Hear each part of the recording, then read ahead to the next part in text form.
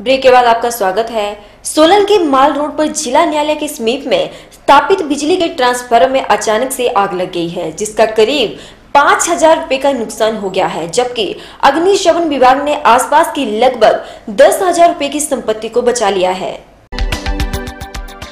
सोलन के माल रोड पर जिला न्यायालय के समीप में स्थापित बिजली के ट्रांसफार्मर में अचानक से आग लग गई, जिसका करीब पाँच हज़ार रूपए का नुकसान हो गया है, जबकि अग्निशमन विभाग ने आसपास के लगभग दस हज़ार रूपए की संपत्ति को बचा लिया गया है। जानकारी के अनुसार सोलन के जिला न्यायालय के समीप बिजली के ट्रांसफार्मर में देर शाम को अचानक से आग लग गई। कुछ ही देरी में आग की लपटे ट्रांसफार्मर को घेरने लगी। आग को बढ़ता देख आसपास के लोगों ने इसकी सूचना अग्निशमन केंद्र सोलन को दी। अग्निशमन केंद्र को सूचना मिलते ही केंद्र के प्रभारी राजा राम भागटक की अगुवाई में टीम घटना स्थल पर पहुँची और मोर्चा संभालकर आगजनी को शांत किया गया। अग्निशमन केंद्र के प्रभारी राजा राम भागटा ने बताया कि सूचना मिलने के बाद तुरंत टीम सहित मौके पर पहुँचे और आग पर पूर्णतः काबू पा लिया गया। उन्होंने कहा कि आग से करीब पाँच हज़ार रूपए का नुकसान हुआ है, जबकि आसपास की लगभग दस लाख रुपए की संपत्ति को बचा लिया गया है। उन्होंने कहा कि आग लगने का कारण बिजली का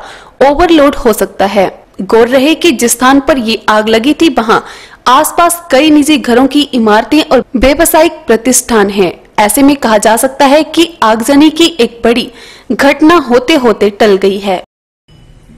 बारह तारीख को हमें ये सूचना मिली। रात को आठ बज के बारह मिनट पर सब जज कोर्ट के बाहर ट्रांसफार्मर में ये आग लगी थी, जिसको हमने कैप्स और सी की सहायता से पूर्ण रूप से बुझा दिया। इसमें लगभग पाँच हज़ार रुपये का नुकसान हुआ और बचाई गई संपत्ति पंद्रह लाख रुपये आंकी गई। आग लगने का कारण हैवी लोड